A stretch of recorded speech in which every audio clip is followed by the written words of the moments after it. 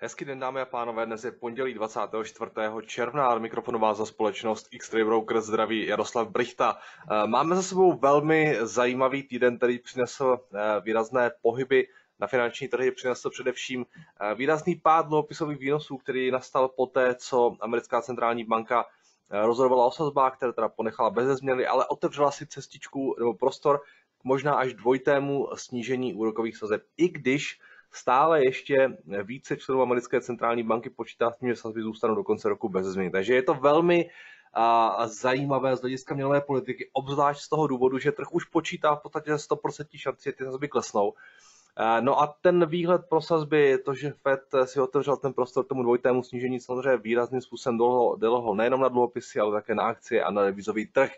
Když se podíváme na indexy, tak v tom minulém týdnu Amerika 3% v případě Nasdaqu v zelených číslech, 2,2% v případě S&P 500 a dařilo se také evropským indexům, i když ne všem. Některé rostly o ten více než 3%, jako třeba v Itálii, jiné se tak spíše jako plácali, Španělsko, ale víceméně zasánce byla velmi pozitivní i v Evropě. No a také samozřejmě v Ázii vidíme ty pětidenní změny v Ázii, hlavně v Číně, Hang Seng, CSI, to jsou růsty, které, ke kterým přispěl nejenom ten, ten optimismus, za, optimismus za finančních trzích, ale přispělo k tím také to, že si po delší době zavolali americký a čínský prezident, dohodli se, že budou pokračovat v těch jednáních, dohodli se, že se sejdou a na tom samitu G20 v Japonsku, což samozřejmě pomohlo eh, také akciovým trhům, zejména té azijské sekci, Azie, respektive Čína, Austrálie, Nový Zéland.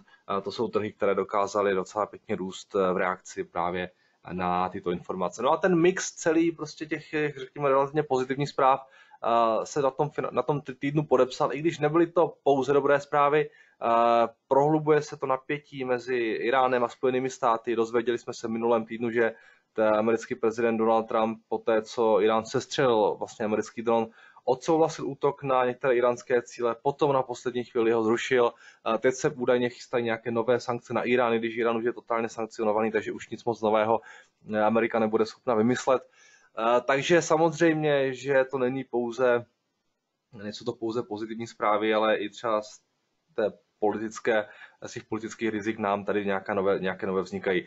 Plus ještě bych zapomněl na to, jak Trump kritizoval Maria Draghiho, který naznačil, že ECB je připravena snižovat sazby a Trump přišel s tím, že ECB e znehodnocuje euro a poškozuje tím Spojený stát. Takže eh, těch vektorů rizikových je tady stále hodně, ale v tom minulém týdnu převládal ten, ten pozitivní sentiment. Když se podíváme na situaci na amerických indexech, tak vidíme, že S&P nám překonalo tu rezistenci na úrovni těch květnových high, ale zatím se na ní tak nějak stále drží, takže bude zajímavé sledovat, jak se bude chovat v tomto týdnu. Já si myslím, že ten prostor k tomu růstu tam nějaký stále ještě je, vzhledem tomu, jak ty výnosy velmi klesly. Samozřejmě nesmí se do toho připlést nějaká další politická rizika a ta situace na trzích musí zůstat relativně klidná. Jinak ten, ten trh vlastně na Forexu hlavně jsme byli svědky toho, že víceméně byl pod silným takem americký dolar v podstatě na všech těch hlavních měnových párech Eh, tohle eurodolar, víte, že eh, jsme se vlastně dostali eh, zpátky na těch 1,13, už se blížíme k 1,14. Jo, ten, ten FED se samozřejmě na tom kurzu dolaru podepsal.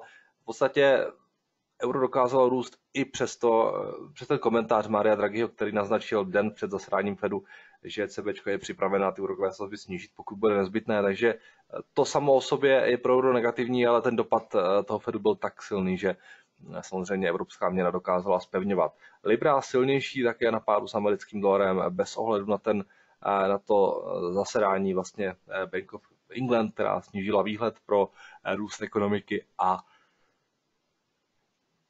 bez ohledu na tu nejistotu okolo Brexitu, která samozřejmě na Libru stále negativně doléhá. Japonec silnější na pádu s americkým dolarem bez ohledu na růst akciových indexů. Vypadá to, že všechny ty měny euro, libra i, japonský dolar rostly, přestože ten jejich fundament se vlastně v tom minulém týdnu zhoršil. A v Japonsku ne, že by se zhoršil nějak teda fundament, ale zase na druhou stranu rostly nám výrazně akcie. Japonec je docela eh, bezpečný přístav, který, kterému se nedaří v tom prostředí růstových akcí, ale přesto japonská měla silnější. Kanaďan, tam už to bylo jednodušší, eh, silnější na pádu s americkým dolarem Australan výrazně dokázal růst na pádu s americkým dolarem a Novozelanděn také má za sebou docela solidní týden eh, díky tomu výplachu na dolaru a díky těm zprávám ohledně vyjednávání mezi Amerikou a Čínou. Takže tady to byla, řekněme, docela jednoznačná story. Zlato rovněž jednoznačná story v tom minulém týdnu. V podstatě kombinace levnějšího dolaru, nižších sazeb a výrazně pomáhala drahým, drahým kovům, takže zlato 14 dolarů za unci stříbro nějakých 15 dolarů a 30 centů. Ropa v minulém týdnu rovněž dokázala růst díky tomu slabšímu dolaru a možná částečně i díky eh, tomu napětí mezi Amerikou a Iránem. No a máme tady ještě jeden velmi silný růstový příběh minulého týdne a tím je Bitcoin, který v podstatě v eh, tom eh, minulém týdnu, nebo myslím, že teď přes víkend, se dostal na úroveň 11 tisíc dolarů. Já ten Bitcoin sleduju další dobu, v podstatě celý ten růst, který máme od těch 3 tisíc dolarů, víceméně přichází bez nějakého jednoznačné, bez nějaké jednoznačné změny fundamentu. Já se, dom, já se domnívám, že prostě trhy nabyly přesvědčení, že těch 3000 dolarů bylo dno a, a teď se do toho začínají vracet lidé, kteří jednak jsou spekulanti prostě a počítají s tím, že Bitcoin zase dělá nějakou další eh, bublinku a jednak eh, jsou to lidi, kteří prodávali Bitcoiny na těch vysokých úrovních a teďka se zase začínají postupně vracet do trhu. A fundamentálně to podepřené není, vůbec si nedokážu, netroufnu se odhadnout, kam až se můžeme dostat v nadcházejících týdnech, měsících. Myslím si, že šance na to, že půjdeme na 20 je stejně po, po, podle mého názoru stejná, jako eh, se vrátíme jako na ty 3000 dolarů, ale dlouhodobě já jsem docela optimista na Bitcoin, takže myslím si, že ten eh, růst i když je třeba tažen spekulant, eh, nějakou spekulativní poptávkou, tak myslím si, že ta technologie je velmi zajímavá a že dlouhodobě ten prostor, prostor k tomu, aby se prosazovala tam je a že prostě za, za pár let se můžeme podívat na ten graf a budeme úplně někde jinde na těch vyšších úrovních. Takže uvidíme, sleduju to se zájmem jako asi řada investorů, ale jako nějaký fundamentální důvod k tomu momentálně hledat. Osobně tam nic zásadního nevidím, čistě spekulativní poptávka. No, to je asi všechno k tomu minulému týdnu. No a pokud je o týden, který nás čeká, tak e, máme tam docela e, dost, řekněme, těch, těch standardních fundamentů s tím, že se dočkáme i vlastně TG20, která měla začít koncem týdne, to bude docela zajímavé, zejména ve vztahu mezi tu Amerikou a Čínou. Jinak z těch eh, makrodat, se podíváme na ten kalendář, eh, dnes tam budou už přicházet nějaké první zajímavější čísla z Německa, to bude IFO index, eh, takže na to případně pozor, jinak Amerika je dnes bez dat. No a potom v průběhu těch vlastně dalších dnů. Zítra máme zasedání OPECu, máme tam americkou spotřebitelskou důvěru. Ve středu ráno tam máme zasedání eh, Novozelandské centrální banky, která bude rozhodovat o sazobách. Máme tam americké eh, objednávky zboží dlouhodobé spotřeby. Ve čtvrtek tam máme nějaké finální výsledky HDP ze Spojených států, eh, CPI z Německa, takže také docela, docela zajímavé výsledky. No a v pátek HDP z Kanady a začíná nám také 20, takže v tomto směru a ještě to máme vlastně pátek inflaci eh, evropskou. Takže v tomto směru se máme na co těšit, nejsou to úplně nějak, te, nějak jako ty hardcore data prostě a fundamenty, ale už jenom třeba tak je 20 a plus uh, některé ty makrodata, která budou zveřejňovány, si myslím, můžou na trzích způsobit docela solidní pohyby. S tím, že nevidím tam nějaký úplně extrémně rizikový faktor.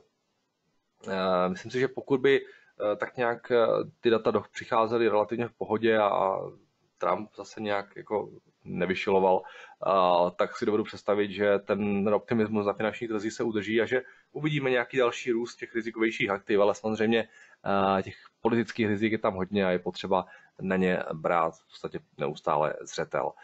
Um, takže tolik asi pro dnešek ode mě, vši dámy a pánové, děkuji za pozornost, sledujte nás na našich sociálních sítích a já se budu opět uh, zítra těšit na slyšenou.